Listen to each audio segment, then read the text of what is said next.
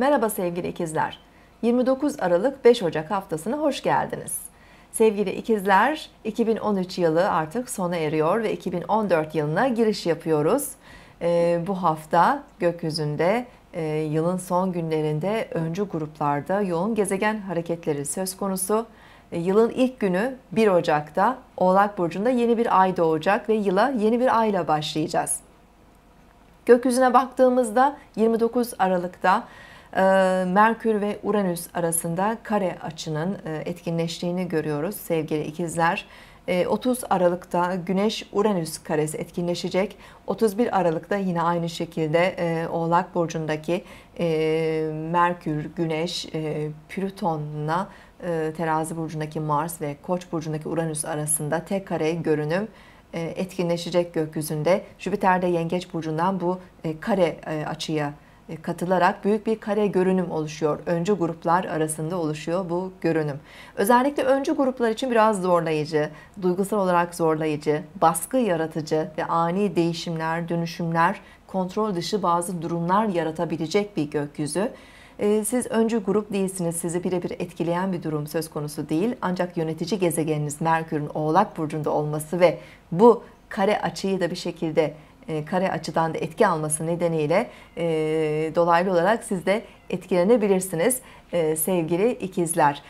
Zihinsel olarak bazı huzursuzluklar, gerginlikler söz konusu olabilir. İletişimlerinize dikkat etmek gerekiyor. Özellikle yakın çevre ilişkilerinizde, arkadaşlıklarınızda, ait olduğunuz sosyal grupta, yakın çevre akrabalarınızda, e, bazı ani durumlarla karşılaşabilirsiniz.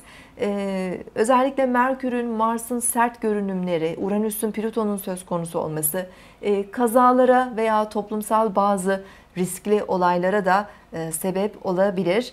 Bu nedenle özellikle yılbaşı zamanı çok fazla e, riskli ortamlarda bulunmadan daha sakin geçirmemiz faydalı olacaktır sevgili ikizler. İlişkilerimizde de mümkün olduğunca denge ve uyumu korumaya çalışalım. 1 Ocak'ta Oğlak Burcu'nda yeni ay doğacak. Saat 13.15'te 10 derece Oğlak Burcu'nda doğacak yeni ay. Sizin 8. evinizde doğacak bu yeni ay. 8. ev konuları özellikle ortaklaşa gelirlerde, ortaklı yatırımlarda, kredi işlemleri, banka işlemleri, miras, vergi, sigorta gibi konularda bazı yenilikler, yeni başlangıçlar getirebilir e, gezegen etkilerinin sert olması ve güçlü gezegen etkilerinin olması önemli değişimlerin ve dönüşümlerin de olabileceğini ve biraz üzerimizde maddi konularda baskı olabileceğini işaret ediyor. Eğer ihmal ettiğimiz bazı kavramlar varsa geçmişe dönük maddi konularda bunlar e, borç olabilir, kredi işlemleri olabilir, vergi konuları olabilir. Onlarla ilgili bazı bu yeni aile beraber baskıcı, e, zorlayıcı bazı durumlarla karşılaşabileceğimizi işaret ediyor. Bunun yanı sıra yenilikler de söz konusu olabilir. Çünkü öncü grup o yeni ayları yeni atılımlar, yeni başlangıçlar için çok güçlü bir enerji verecektir. Uranüs'ün ve Plüton'un da zorlayıcı ve dönüştürücü enerjileri de güçlü atılımlar için, başlangıçlar için e, bizi destekleyebilir.